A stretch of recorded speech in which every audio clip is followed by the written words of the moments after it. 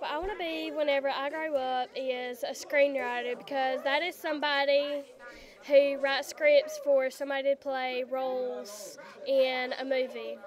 The least job I really like that I dislike doing is being a producer because that is somebody who gets the equipment and the movie ready.